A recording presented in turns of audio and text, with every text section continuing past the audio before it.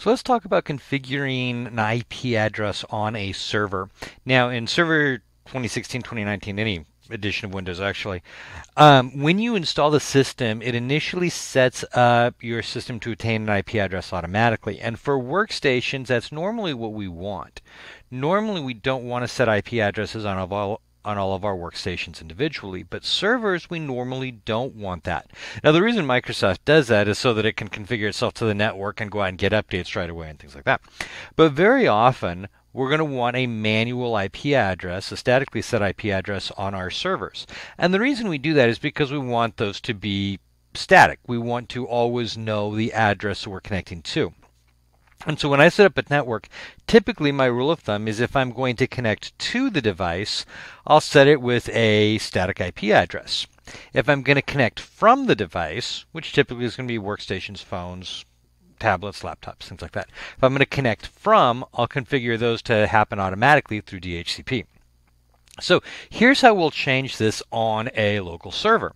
We're going to go to configure this local server, and I'm in Server Manager here. There are other ways to get there too, but from a server, this is probably the easiest one. So from the dashboard, go to configure this local server, and here's where you're going to do most of your configuration.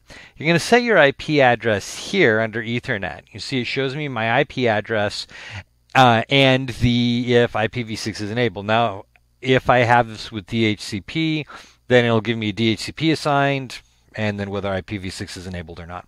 So I just click on that IP address, and that opens up my network connections. Now I can also get to here by coming down to my little network. Here, right clicking, going to open internet and network settings, and I can navigate through and find it from these settings here as well, provided my settings ever actually come up.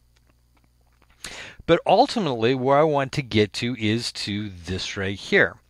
Here we go. It finally made it. Where I can go to Ethernet under my settings and change adapter options. And that's going to bring me to same spot. Okay. I, I'm I'll use this when I'm doing it with workstations. For servers, I tend to go through Server Manager because I do it while I'm looking at all my other configurations there too. So I found my network adapter. Now in this case, I only have a single network adapter. If you have multiple network adapters, you'll see each one of them listed here. And you'll do that sometimes if you have a multi-homed system. And what a multi-homed system means is I have more than one Ethernet adapter in more than one network.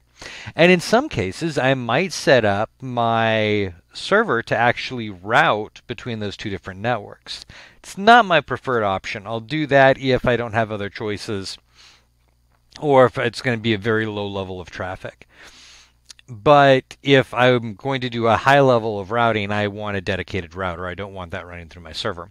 But I will sometimes use a dual home system, like let's say I have one network for connection to my clients and another network for connection to my SANs. In that case, it would be a dual homed device, right? Because I'd have one network connection going to my client network, one network connection going to my SAN network. I'm not going to be routing between the two. So I'm not going to set up routing, but it would still be a dual home device. So what you're looking for is you want to find the network adapter that gives you the connection that you want. And it'll show you, by the way, if your network adapter is disconnected as well. So if that's the case, you know, if you've got three network adapters and only one of them's connected and you've only plugged one of them up to a switch, well, it kind of helps you isolate which one you're using. All right, so I'm going to right click on my network adapter. And there are a couple of things here. Before I dive into my properties, if I'm going to have a multi-home network, sometimes it makes sense to rename the adapter. So I'm going to rename this to local area network which in this case doesn't really make much of an issue or much of a difference. But let's say I had a multi-homed uh, device and I had one for my client network, one for my SAN network, one for another client network that I was running, then I'd probably want to identify them, rename them so I know what I'm actually looking at. And that's easier than trying to remember, okay, Ethernet 1 went to which network again? So renaming it becomes useful there. All right, so I'm going to right click and go to properties. And now let's look at our IP configuration. Now we'll start with IPv6. We'll actually spend a little more time on IPv4. But IPv6, we'll come here and we'll go to properties, and it's pretty straightforward. So we have obtain an IPv6 address automatically. I'm not using IPv6, I haven't changed this.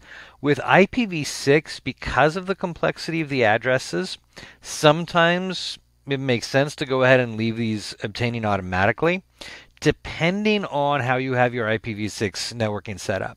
If you have it set up where you're using stateless address auto configuration, it's not going to change its address. So you will always know the address you're connecting to.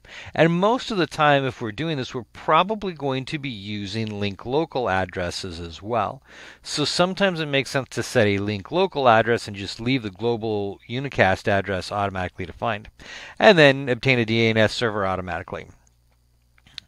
We have an advanced option here where we can set different types of IP addresses or different IP addresses and different gateways and set our DNS servers. Now, all of this is kind of blank. You're going to see something really similar when we look at IPv4 here in just a second. And so we'll actually look at it a little closer there. But just so you know, you, IPv6 is designed to allow you to run multiple addresses. And you can run multiple gateways, although that sometimes becomes a little more problematic. Okay, let's look at our IPv4 settings. I'm going to come to IPv4 and properties. All right, here I've got this one set to do uh, use the following IP address. So this I manually set. Now when you go to do this, you need to make sure that you understand your IPv4 addressing scheme. So know what address is supposed to go here. Know that it's not going to be duplicated anywhere else in the network. Know that it's statically assigned to this address only. If you accidentally set up two devices with the same IP address, it'll create a conflict and neither one of them will work. You need to know your subnet mask and you need to know your default gateway. So I've got all of this set up here for my single address configuration. And typically, IPv6 is designed to allow you to use multiple addresses, but most devices you will only use a single IPv6 address. Now on a server you actually can set up more, and I'm going to show you how to do that in just a second. Then I also set my DNS server and I'm using my loopback address because sooner or later I'm going to make this thing a DNS server. And then my alternate one is I just set up a global address. So this is uh, one of, I think it's Google's publicly available DNS servers. So I went ahead and set that up just so that until I get DNS up and running, I have internet connection on here if I need it. All right. Windows Server will allow you to do multiple IPv4 addresses. And we get to that under advanced. So here I can add in additional addresses, and there may be reasons why you want to have multiple addresses. A very common one, and this isn't the only reason, but this is a very common one, is let's say I am running a web server on this device. And I have multiple websites, and I want to separate websites out by IP addresses. So I can set one IP address for site 1, another IP address for site 2, another IP address for site 3, and then my web server can listen for incoming connections on all three of those and based on what the incoming connection, the IP address of the incoming connection, what it was going to, then it'll know which website to serve. That's a very common reason to do that. And so you do that just by clicking add and then you'd put in another IP address and another subnet mask. Here again, I have the option to add multiple gateways. Like I said, that sometimes becomes a little problematic. If you have multiple gateways, your traffic will tend to go out both gateways and it sometimes can create problems. So if you're looking for redundancy, that's normally, I find it better to do on the routers using first hop redundancy protocols. Under DNS, we have our DNS servers, and on a, the main page, you could add two DNS servers, primary and a secondary. Here, you can add multiple DNS servers if you want.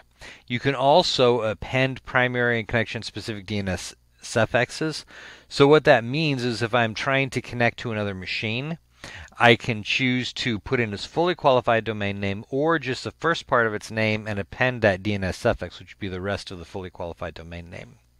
And then we still have WINS settings, which is maintained for backwards compatibility. Now, this is going way back, backwards compatibility to like Windows 98 and older. So, this is not something that actually gets used very often and hopefully never gets used again. I'm still waiting for Microsoft to pull that out. But we shouldn't be using WINS settings very often. Okay, so that walks you through a basic IP configuration from the GUI using Windows Server.